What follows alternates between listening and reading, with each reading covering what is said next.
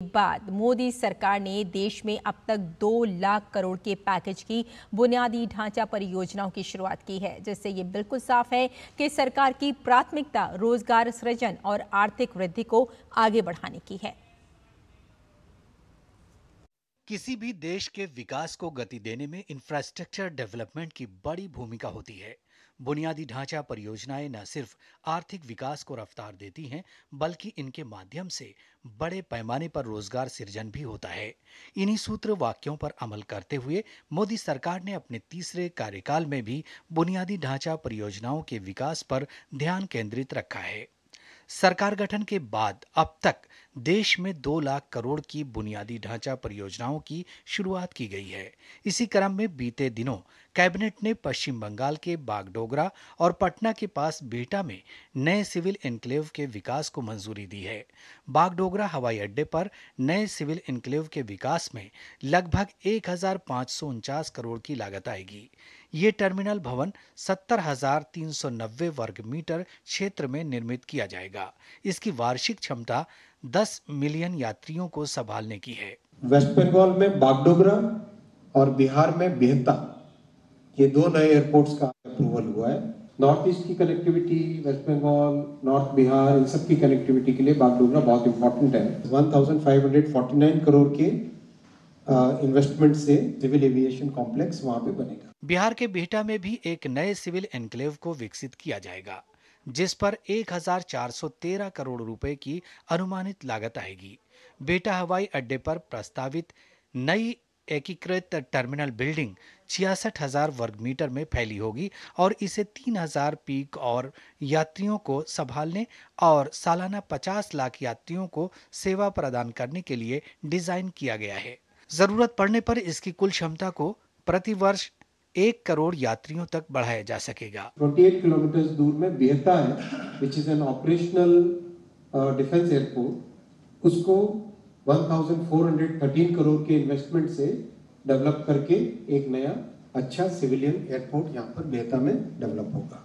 बेटा civil enclave को लेकर Bihar institute of public finance and policy में अर्थशास्त्र के assistant professor doctor Sudhanshu Kumar ने बताया कि ये एयरपोर्ट बिहार के आर्थिक विकास में अहम भूमिका निभाएगा। एयरपोर्ट के विकास के लिए केंद्र सरकार द्वारा जो प्रावधान किए गए हैं, वह बिहार की आर्थिक विकास में एक बहुत बड़ी भूमिका निभाएगा।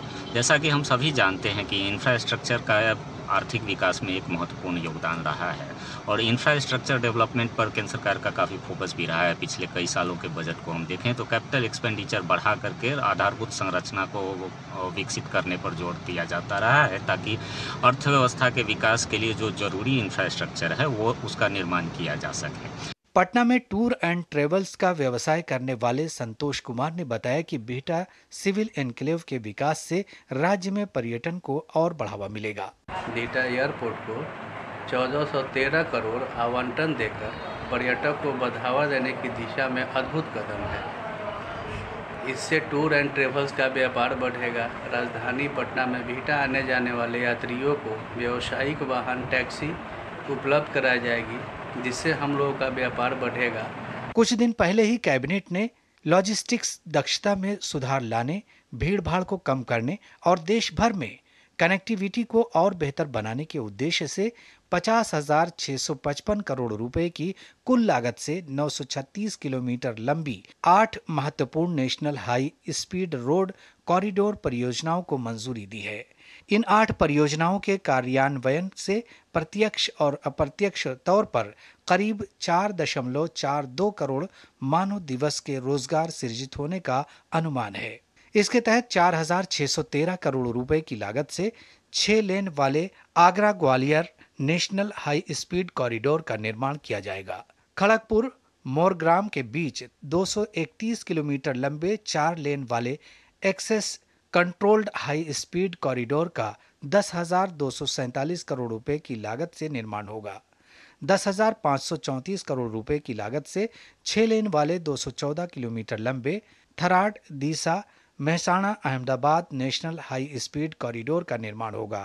अयोध्या में 3,935 करोड़ की लागत से अड़सठ किलोमीटर लंबे चार लेन वाले एक्सेस कंट्रोल्ड रिंग रोड का निर्माण होगा। Raipur Ranchi national high speed corridor के पत्थलगांव और गुमला के बीच 137 किलोमीटर लंबे चार लेन वाले खंड का निर्माण किया जाएगा। कानपुर में छह लेन वाली 47 किलोमीटर लंबी रिंग रोड का निर्माण होगा। करीब पाँच हज़ार सात सौ उनतीस करोड़ की लागत से 121 किलोमीटर लंबे गुवाहाटी रिंग रोड का चौड़ीकरण और सुधार किया जाएगा। नासिक फाटा से पुणे के समीप खेड़ तक 30 किलोमीटर लंबे आठ लेन वाले elevated national high speed corridor का 7,827 करोड़ की लागत से निर्माण किया जाएगा। इन तमाम बुनियादी ढांचा पर इन तमाम बुनियादी ढांचा परियोजनाओं से न सिर्फ़ देश के आर्थिक विकास को रफ्तार मिलेगी, बल्कि बड़े पैमाने पर रोज़गार सृजन भी होगा। Bureau report, DD news.